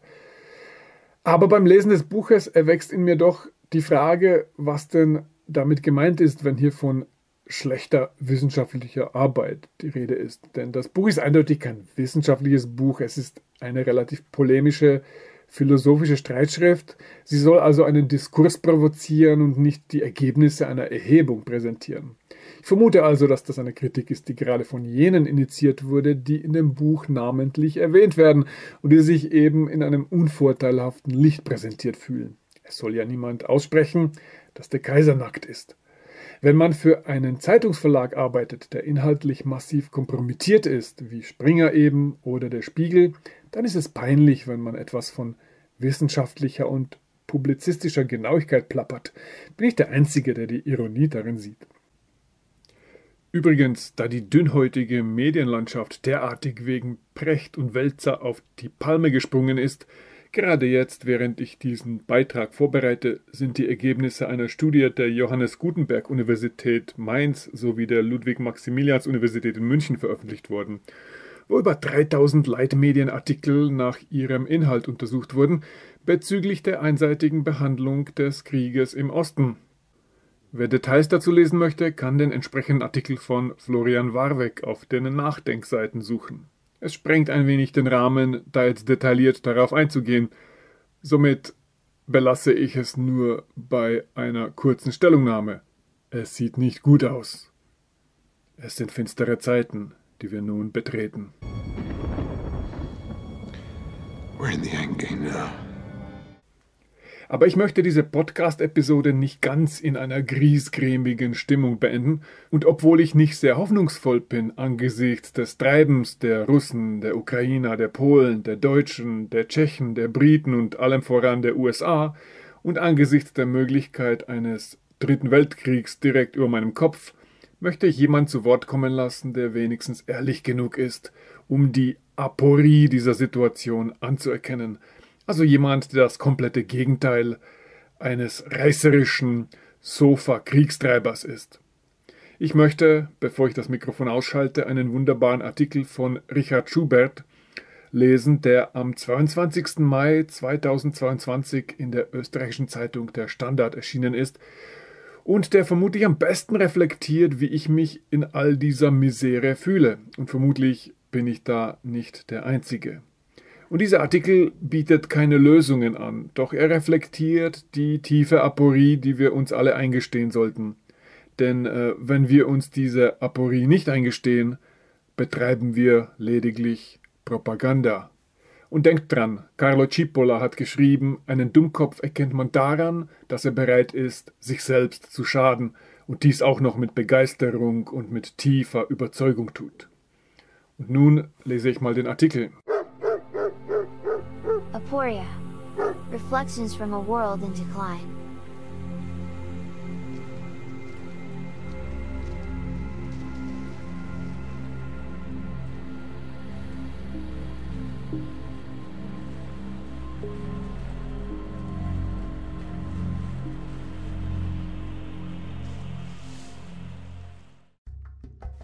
Hundert Podcasts und ein Befehl Pazifismus versus Bellizismus ein Essay von Richard Schubert. Russlands Krieg gegen die Ukraine hat auch den Krieg der Meinungen beschworen, aus den Schützengräben der sozialen wie der asozialen Medien. Wegen dieses verfluchten Krieges bin ich das erste Mal in meinem Leben, was mir Gesinnungstreue und Männchen der Tat immer schon vorwarfen, unentschlossen. Ratlos hechle ich zwischen den Positionen hin und her wie ein herrenloses Hündchen, Dabei mache ich es mir nicht leicht, nicht so leicht zumindest, lauthals Positionen zu bellen wie Marschbefehle. Aber da auch Zögerer und Zauderer im Krieg der Meinungen eine Funktion haben sollten, biete ich mich beim Zweikampf zwischen Bellizisten und Pazifisten, wenn schon nicht als Mediator, so doch als Sekundant an und werde dafür sorgen, dass die Duellanten einander fair und regelgerecht erschießen. Der Sieger wird dann von mir erschossen. Ich kann Ihnen, liebe Leserin, lieber Leser, nicht verdenken, wenn Sie diesen unerwarteten kleinen Scherz geschmacklos finden. Lediglich möchte ich Ihnen versichern, es ist meine Art auszudrücken, dass ich sowohl an Kriegstreibern wie Friedensbewegten dieser Tage die Male bürgerlicher Verrohung spüre. Ja, sogar bei mir. Krieg, das ist nicht nur der größte Horror, es ist die größte Komplexitätsreduktion. Zumal ein Angriffskrieg, ein feiger Überfall, wie in die Sowjetunion 1941 durch das Deutsche Reich, wie in die Ukraine durch Russland jetzt erleben musste. Ein besonders bedauerliches Glied in der Kettenreaktion der Barbarei ist, dass solch ein Überfall auch die Überfallenen barbarisiert. Der Krieg lässt als erstes die Ambivalenzen internieren. Er zwingt zur Position für oder wider den Feind, zur Annahme des Gewaltprinzips und zum Entfesseln, Schüren und Erzeugen destruktiver Energien. Er rehabilitiert den Psychopathen als Helden, als Zerstörer und Schutzherren des Lebens, als künftigen Ehrenmann, Schwiegersohn und Politiker. Differenzierendes Denken erweist sich endlich als das, als was es in Friedenszeiten schon verdächtigt wurde, nutzlos, egozentrisch und gemeinschaftsschädigend. Es darf sich im männlichen Kampf oder zumindest beim Nachladen bewähren, ansonsten bleibt ihm nichts als Fahnenflucht oder der Luftschutzbunker. Angriffskriege schmieden Völker aus Menschen, die alles Talent hatten, eine Gesellschaft zu werden. Die Kulte der Heimat, die Waffe der Tat und die Bekämpfung des inneren Feindes putschen sich aus trauriger Notwendigkeit zunächst zu oberen Prinzipien der Stunde und werden nach heroischem Sieg so schnell nicht wieder der Zivilität das Feld räumen. Dabei ist die moralische Verantwortung im aktuellen Krieg nicht debattierbar. Und das Verbrechen gegen die Menschlichkeit begann nicht erst beim ersten Kriegstoten, sondern beim ersten Diabetiker, der kein Insulin bekam, beim ersten Kind, das durch den Einschlag eines Blindgängers traumatisiert wurde. Der hinterhältig überfallene Staat braucht kein Leumundszeugnis vorzuweisen, um internationale Solidarität und Unterstützung zu beanspruchen. Er bedarf allerdings auch nicht der Glorifizierung und der selektiven Unterdrückung von Wahrheit. In gespenstischer Schnelle trat auch bei uns ein, was feinsinnige Menschen von früheren Weltkriegen schon bezeugten. Als die ukrainische Bevölkerung die russischen Panzer noch mit Pfeifkonzerten empfing und ihre Fahrer mit falschen Richtungsangaben in die Irre lockte, begann die europäische, in den sozialen Medien bereits, Sandsackwelle gegeneinander aufzuschlichten. Dann wurde das Feuer eröffnet. Die Stunde der intellektuellen Prepper und Reserveoffiziere war gekommen. Der öffentliche Diskurs glich einer Generalmobilmachung, bei der sich die krisengebeutelten, von den Ereignissen zutiefst verstörten Menschenmonaden der jeweils großmäuligsten Meinungsgang unterordneten und aus Angst, die eigenen Zweifel könnten einen als einen der anderen ausweisen, am rücksichtslosesten gegen jede abweichende Meinung vorgingen. Im Krieg beneide ich am wenigsten die Partei, welche das Recht auf ihrer Seite hat, weil sich alle Scheußlichkeit, die ein solcher notwendig in Menschen entfesselt, hinter moralischen Tarnkappen austoben kann, und nicht anders verhält es sich an den Heimatfronten der Zaungäste solch eines Krieges. Der kritischen Psychologie und scharfsinnigen Dichtern und Dichterinnen verdankt sich die Einsicht, dass unsere edelsten Absichten oft von dunkelsten Trieben unterfüttert sind. Die moralisch gerechte Sache ist ein Magnet für Vergeltungs- und Splatterfantasien, Ambiguitätsintoleranz und jenen Egoismus, der sich als Empathie ausgibt, die ja, wie die Spiegelneuronenforschung erkannt hat, sich dorthin ausdünnt, wo ihre Objekte aufhören, uns zu ähneln. Also Putin erst zum Hitler werden lässt, wenn er Organic Coffeeshops in Kiew beschießen lässt, aber bei seinen Bombardements Aleppos inaktiv bleibt, da Gewalt ja wie wir alle wissen, dort irgendwie zur Folklore gehört. Wie es um die Moral unserer digitalen Truppe bestellt ist, ließ sich an der kollektiven Häme über den Ertrinkungstod der Besatzung des Flaggschiffs Moskwa ermessen, welche die sozialen Medien fröhlich flutete. So ein Krieg ordnet die Verhältnisse, besonders in Zeiten kognitiver Verwahrlosung liefert er klare Orientierungsachsen und beschenkt die Halbbildung mit dem narzisstischen Trumpf, sich dem Blabla der notorischen Differenzierer überlegen zu fühlen. Endlich ist die Welt so, wie sie das liberale Feuilleton immer zeichnete. Freie gegen unfreie Welt und basta. Zum Sündenbock eignet sich bestens die Linke, die immer öfter pauschal der Parteinahme für Putin bezichtigt wird, dass die University of Florida als Protest gegen den Ukraine-Krieg ein Schild des Russenhassers Karl Marx entfernen ließ, mochte bizarr anmuten, doch war es ein Menetekel für die allgemeine Tendenz, Tabula rasa mit dem inneren Feind zu machen dass ein Teil der antiimperialistischen Linken den Putin-Faschismus bagatellisierte und den Putin-Kapitalismus ignorierte, wird zum Wesensmerkmal einer jeden Kapitalismuskritik verallgemeinert. Denn im Manichäismus des neuen Endkampfs kann Kritik des eigenen Lagers nur eins sein, Komplizenschaft mit dem Feind. Und Wehrkraftzersetzendes Blendwerk all die ermüdenden Analysen, inwiefern unsere Freiheiten doch etwas mit den Unfreiheiten der anderen zu tun haben mögen und inwiefern die neuen Fronten nicht nur den Endkampf zwischen Elben und Orks darstellen, sondern etwas mit globaler Krisendynamik zu tun haben könnten. Was mich an vielen Bellizisten, deren Position ich mitunter teile, anwidert, ist, dass sie sich gegenüber vielen Pazifisten, deren Positionen ich mitunter teile, wie per digitales Kriegsrecht wild gewordene Freikorps aufführen. Es reicht nicht, dass sie ihre Argumente darlegen, sie müssen jeder Gegenmeinung ihre Gewehrkolben ins Gesicht schlagen und jede produktive Skepsis als Gegenmeinung diffamieren, um ihr dann ihre Gewehrkolben ins Gesicht zu schlagen. Mit ihrem Moralismus im Anschlag, jenem, wie es Wolfgang Merkel kürzlich im Standard nannte, ostentativen Überschuss einer moralischen Egozentrik, sortieren sie jede Gegenmeinung ohne Recht auf Anhörung in drei Bekenntnisgruppen. Erstens, ich bin weltfremd, feig und naiv, lacht mich aus. Zweitens, ich bin ein dummer Putin-Versteher, bespuckt mich. Drittens, ich bin ein böswilliger Putin-Troll, tögelt mich. Reflexionen werden nicht auf ihren Gehalt geprüft, sondern in Analogieschlüssen den jeweils positiv oder eben als Ausgeburt des abartigen geframten Feind-Freund-Blöcken zugewiesen. Souverän ist wieder einmal, wer über den Ausnahmezustand entscheidet. Wer hätte sich gedacht, dass sich dem Warmduscher und Schattenparker der 90er Jahre 30 Jahre später der Atombombenfürchter hinzugesellt und als untrüglichster Ausweis von Feigheit, Niedertracht, Mitläufertum und Empathielosigkeit gilt, wegen der Krim keinen Bock auf Verglühen zu haben? Besonnene Menschen fühlen sich in diesem Klima des intellektuellen Terrors wie bei der Ausgangssperre erwischt und genötigt, jeden ihrer Gedanken mit einem Bekenntnis gegen Putin und der Verurteilung des Überfalls auf die Ukraine einzuleiten, was sie umso verdächtiger macht. Wie im Krieg gibt es vorübergehenden Schutz nur in einem der beiden Lager, selbst wenn man deren jeweilige Parolen und Selbstgerechtigkeit nicht teilt.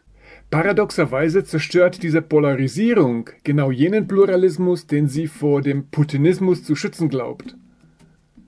Der Politologe, der unaufgeregt ihre Nazi-Vergleiche in der Sache widerlegt, die Historikerin, die sie abmahnt, den Begriff Genozid bedachter zu verwenden, oder der Kurde aus Afrin, der sie fragt, wo ihre gerechte Empörung war, als Erdogans islamistische Banden in seiner Heimatstadt wüteten, kommen ausnahmslos in den Ruch Putin-Trolle zu sein.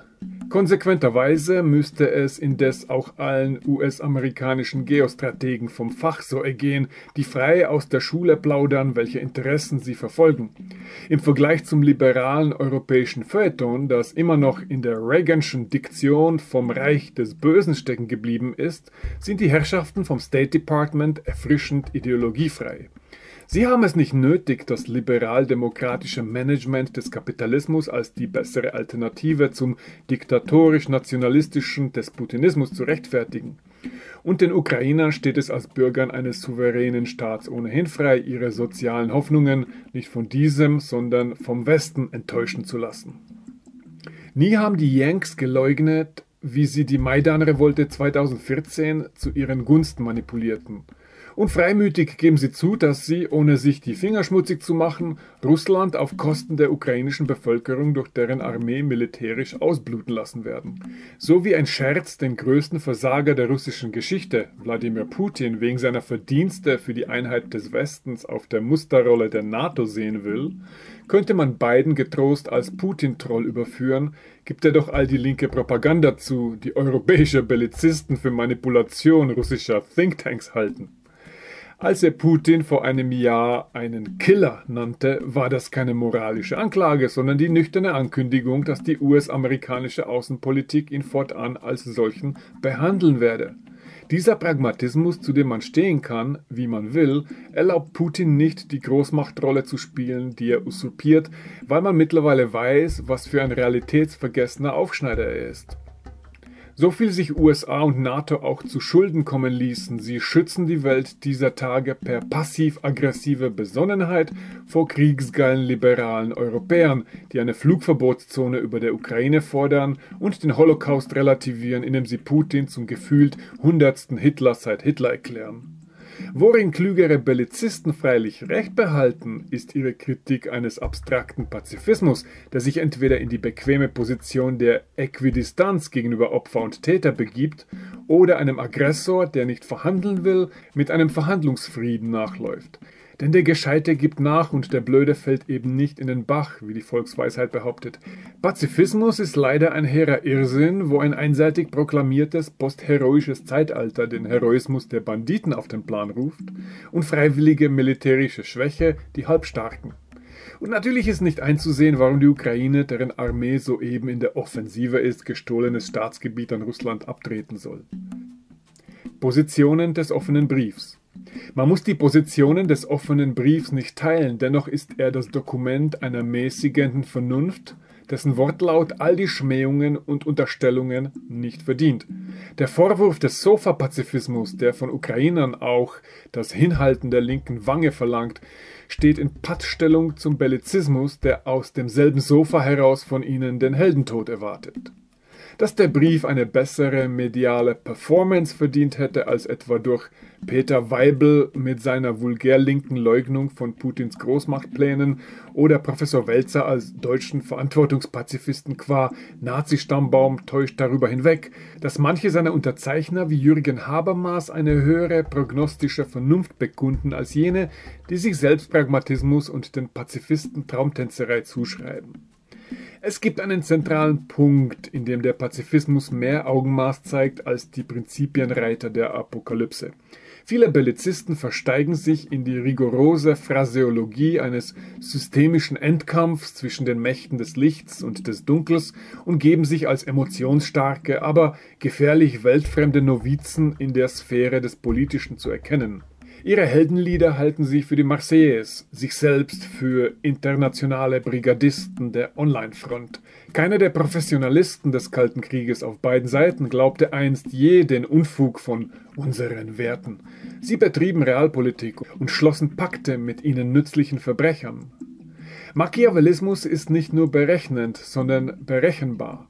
Unberechenbar werden die Zyniker der Macht, wenn sie ihre Ideologien zu glauben anfangen. Putin und seine Spießgesellen wussten, dass ihre Kapazitäten nicht für eine völlige Okkupation der Ukraine reichten. Was die Spießgesellen wussten, Putin aber nicht, dass auch die Kapazitäten ihrer Armee nicht hinlangten, die anfänglichen Kriegsziele zu erreichen. Es trat jene Paradoxie ein, dass die gewünschte Sonderoperation nach US-Vorbild schnelles Auswechseln der Regierung durch Vasallen bei größtmöglicher Schonung der Zivilbevölkerung kläglich scheiterte und in die konventionelle Kriegsführung der vergangenen Jahrhunderte zurückfiel, wo der Kollateralschäden wieder zum Hauptzweck wird. Die Gewaltexzesse und Zerstörungen sind das exakte Gegenteil russischer Stärke, auch wenn sie von europäischen Angstpredigern als Ausdruck eines in sich kohärenten neofaschistischen Masterplans, wenn nicht sogar russischer Mentalität, fantasiert werden. Nicht, dass Putin kein Faschist wäre und nicht, dass in seinem Umfeld keine Visionen von Eurasien und der Vernichtung der liberalen Demokratien herumgeisterten.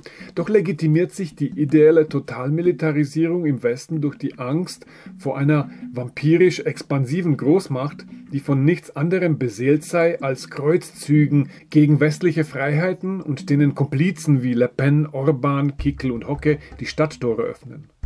Doch ein Heer, das sich soeben aus Kharkiv zurückziehen musste, kommt weder bis Biele noch bis zum Tulnafeld.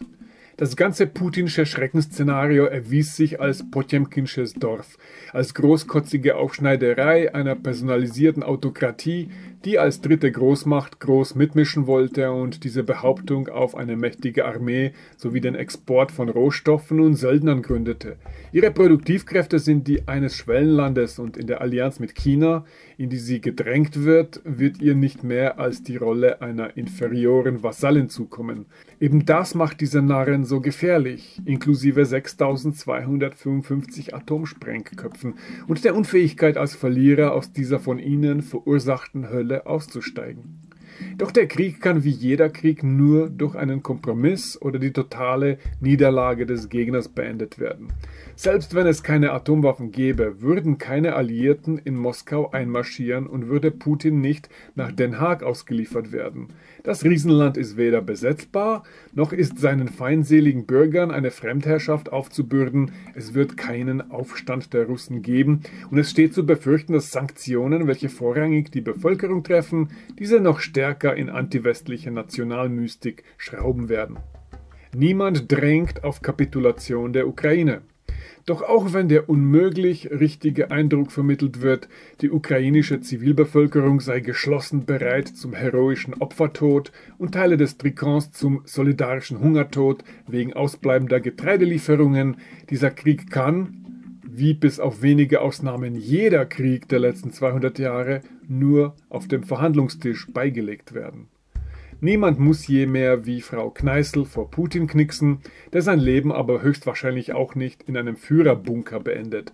Somit wird man dem bösesten Mann der Welt Angebote machen müssen oder aber der weiteren Totalmilitarisierung der Welt mit all ihren katastrophalen materiellen, seelischen und epistemischen Folgen ihren Leerlauf lassen. Je länger der Krieg dauert, desto eher wird die ukrainische Seite westliche Sympathien verlieren, sobald sich der noch heroisierte Nationalismus der Notwehr zum totalitären Prinzip auswächst. Schon der Ukraine zuliebe sollte das verhindert werden. Pazifisten haben Unrecht, wenn sie Notwehr verdammen, doch behalten sie Recht in ihrem oft intuitiven Wissen um die Millionen fassbaren und unfassbaren Makro- und Mikroschäden dieser Destruktion. Eine davon ist eine seelische Transformation, wie wir sie von den verpimpelten und verlorenen Bürgersöhnchen am Vorabend des Ersten Weltkriegs kennen, die Kompensation der eigenen Harmlosigkeit und ontischen Tristesse durch kollektives Drängen zu Schicksal, Opfer und Tat. Der Unterschied zu den Scheißkerlen von heute, die von damals ließen nicht andere sterben, sondern marschierten selbst an die Front. Eines dieser Macho-Müttersöhnchen, das den Krieg wirklich kannte, war Hemingway und der schrieb, ein Angriffskrieg, das ist das größte Verbrechen gegen alles, was gut ist in der Welt. Ein Verteidigungskrieg, der notwendigerweise so früh als möglich in einen Angriffskrieg übergehen muss, ist das unerlässliche große Gegenverbrechen. Aber glaubt niemals, dass Krieg, egal wie notwendig oder gerechtfertigt er auch sein mag, kein Verbrechen ist. Fragt die Infanterie und fragt die Toten. Soweit Richard Schubert. Ich möchte nun zum Ende kommen und zu einem kleinen Fazit dieser etwas pessimistischen Sendung. Eingehen möchte ich noch auf diesen Begriff Gleichschaltung. Viele haben sich übrigens über das Wort Gleichschaltung aufgeregt und es fälschlicherweise Richard David Brecht und Harald Welzer zugeschoben, die es im ganzen Buch kein einziges Mal verwendet haben und sich auch dagegen verwahren. Es ist ja auch de facto eine Reductio ad Hitlerum, ein indirekter Hitler-Vergleich, doch nicht angewendet auf den Feind im Osten, sondern angewendet auf uns selbst. Mich stört der Ausdruck nicht. Immerhin lebe ich nun über ein halbes Jahrhundert auf dieser Welt und ich habe noch nie zuvor ein derartiges Phänomen in der Medienlandschaft mit eigenen Augen gesehen. Der Vergleich mit der Gleichschaltung am Anbeginn des Dritten Reichs in den 30er Jahren hinkt an dieser Stelle durchaus, denn das hier ist mehr ein CIA PSYOP unter der Beteiligung der deutschen Leitmedien. Die Transatlantiker haben das Land und seine Medienlandschaft längst übernommen. Und das Ende der Welt, wie wir sie kennen und geschätzt haben, scheint plötzlich nahe. Und das ist zu weiten Teilen unser aller Schuld. Und ich werde sichtlich überrascht sein, wenn wir uns in zehn Monaten nicht bereits im Dritten Weltkrieg befinden. Doch ich möchte eine Presse sehen, deren tiefste sakrale Aufgabe darin besteht, die Eliten herauszufordern und ihre Machenschaften jede Sekunde unter das Mikroskop zu nehmen. Also nicht nur Thilo Jung im Alleingang, sondern immer und alle. Ich will eine journalistische Klasse sehen, die niemals müde wird, mit sich selbst ins Gericht zu gehen. Denn nur so kann man möglicherweise eine Außenwirkung entfalten, die stark genug ist, um einen Weltkrieg zu verhindern. Hier geht es darum, dass die Presse die heilige Aufgabe hat, die eigene Regierung unentwegt herauszufordern und zu durchleuchten. Der Modus operandi sollte Misstrauen sein. Nur so kann ein Journalist guten Gewissens sagen, dass er seine Aufgabe gegenüber der Bevölkerung erfüllt hat. Es ist nicht die Aufgabe der Presse, Foreign Policy zu machen. Es ist nicht die Aufgabe der Medien, außenpolitischen Gestaltungswillen zu äußern. Es ist nicht die Aufgabe der Presse, aktiv gegen das sogenannte Ukraine Fatigue vorzugehen, etwas, das sie tatsächlich tun, egal wie sehr sie es mit Schaum vor dem Mund verneinen. Umgekehrt ist es unsere bürgerliche Aufgabe, unentwegt die Presselandschaft zur Rechenschaft zu ziehen und an ihrer eigenen sakralen Aufgabe zu messen. Und wenn sie sie nicht erfüllen, dann zum Teufel mit ihnen, genauso wie die ganze politische Klasse. Niemand ist unersetzlich. Was wir nicht brauchen, ist ein Haufen Hobbyhuren, die fortan für die Sexualaufklärung dieses Landes zuständig sind. Und viel einfacher kann ich eine entsprechende Metapher nicht stricken. Da stehen wir nun. O tempora, o mores. So long, grifters. The Thief in the Temple. Escapism in the Pre Apocalyptic Era.